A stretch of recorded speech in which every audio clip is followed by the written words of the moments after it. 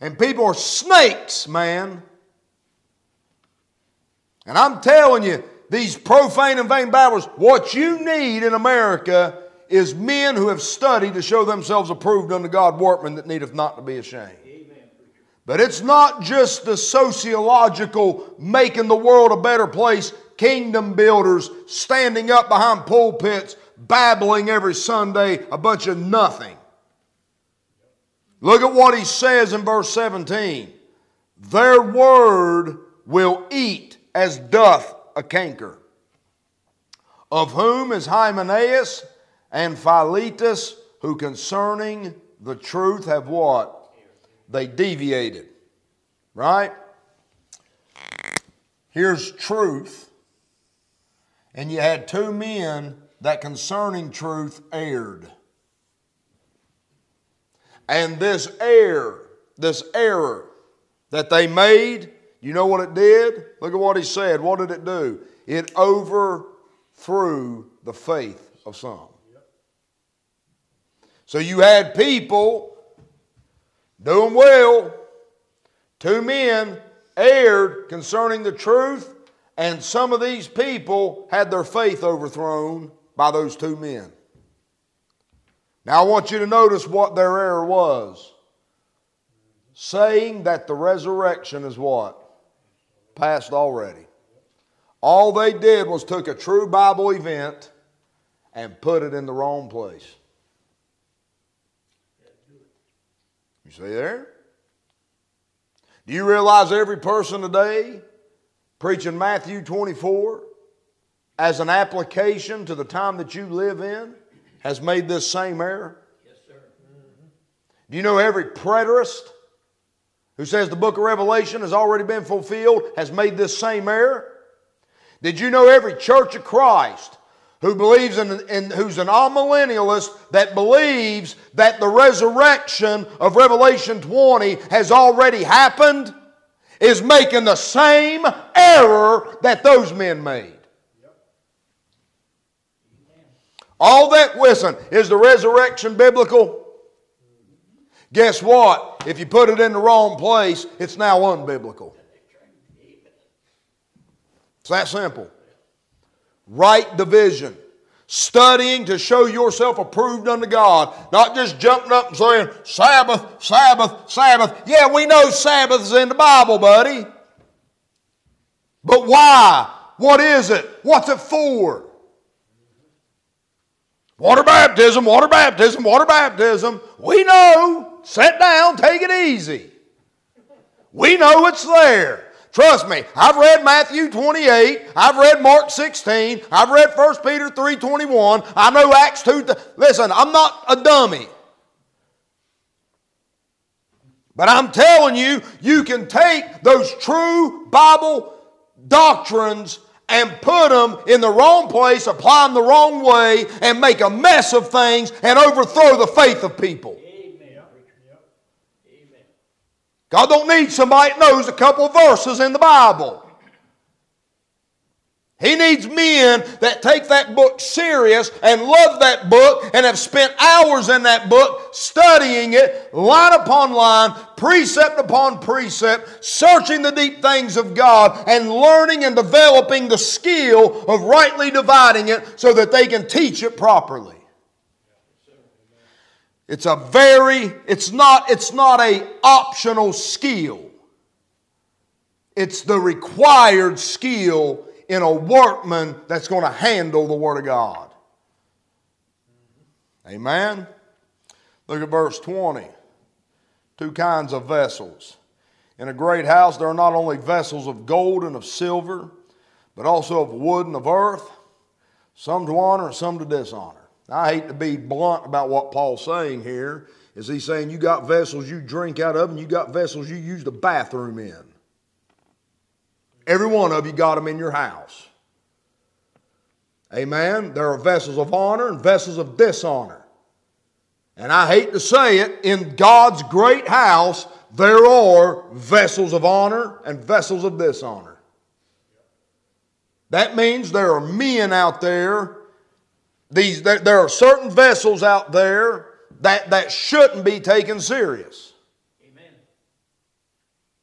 Look what he says in verse 20. If a man therefore purge himself from what?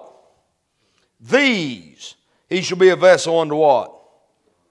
Sanctified meet for the master's use. There are vessels out there that have been purged and sanctified and are now meet for the master's use. What made them meet for the master's use? You can't forget verse 15. What prepared them for the master's use was studying the Word of God to show themselves approved unto God, workmen that needeth not to be ashamed, rightly dividing the Word of truth.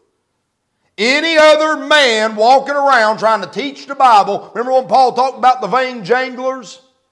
What did they desire? They desired to be teachers of the law, but they understood not what they say, nor whereof were they affirm, and they were just like, you'd be, listen, Listening to people teaching the Bible, don't know how to teach the Bible, is the equivalent of coming into a building and listening to a man jangle car keys in your ears for about an hour and then going home. It's vain jangling, it's just a bunch of empty noise. And Paul's telling them here Paul's telling Timothy, he's saying there's one thing that's going to approve you and make you meet for the master's use, and that is to study to show yourself approved unto God, a workman that needeth not to be ashamed. Now, there's three prerequisites to this, guys.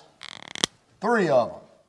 Three things you have to have moving forward in order to become this approved workman.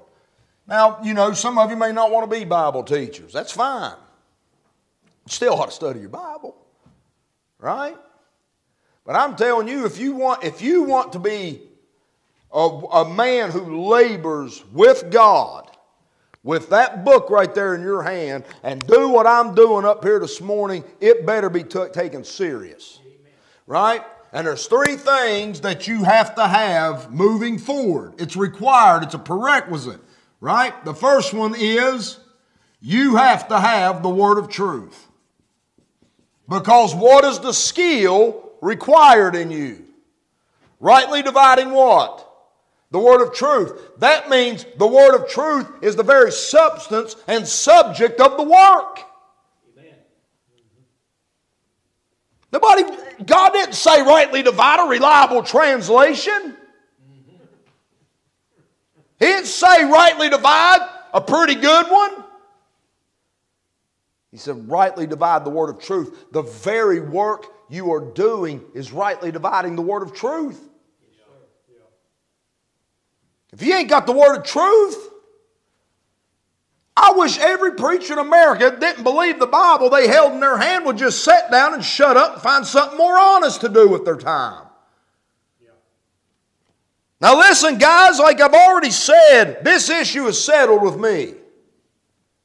It's the King James Bible. If it ain't settled with you, I don't care. It's settled with me. I can't, I can't convince the whole world. This is something, listen, man, we could talk about manuscript evidence. I've got all the books over there.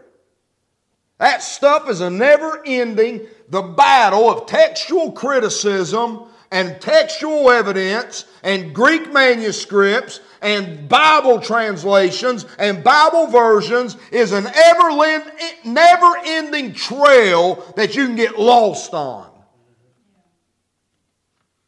We can talk about it till we're blue in the face. You're going to have to prove that for yourself. I'm telling you right now, man, there's three things you need. You need the word of truth, and you need the right motive. Study to do what? Shew thyself approved unto God. That's personal. Yes, sir.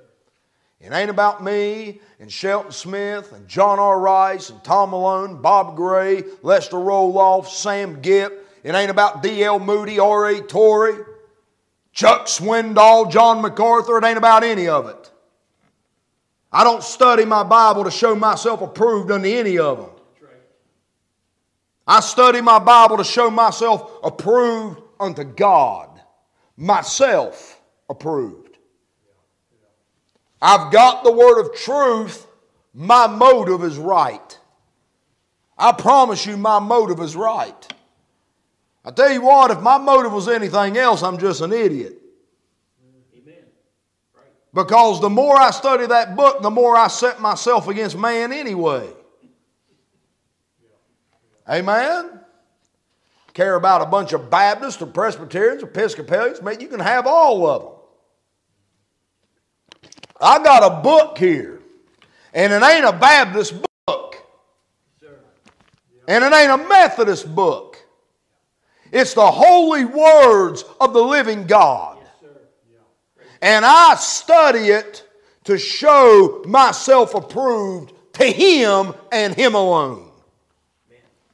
Amen? And if you, listen, you find men, you find men who do that, and if you can recognize them, if you can't recognize them because you ain't got any sense. Because they're not hard to find. They're, it's not hard to find that approved workman in the midst of all the profane and vain babblers. You know them when you hear them. Dr. Ruckman was one of them. And I don't care what anybody has to say about him. I knew the first time I heard that man preach, he was different. And I tell you this about Dr. Ruckman and what separated him from all the men of his time. He believed the book he held in his hand, and his motive was nothing more than personal approval to God Almighty. And he spent his life studying that book. He didn't get it all figured out, but neither have you, and neither have I. And you don't just take God's workmen and the first time they make an error, just throw them to the wayside, man. But I, I tell you, man, I've, I've heard these, I've heard men over my life that I know were approved workmen unto God. The third thing you're going to have to do, you believe the book? You want to approve yourself unto God? You're going to have to study. Quit trying to be seen of men. and get alone with God and your Bible and study it. Amen. I'm going to read y'all some verses here on, on this very issue. If y'all want to flip with me, you can. Look at Deuteronomy chapter 6.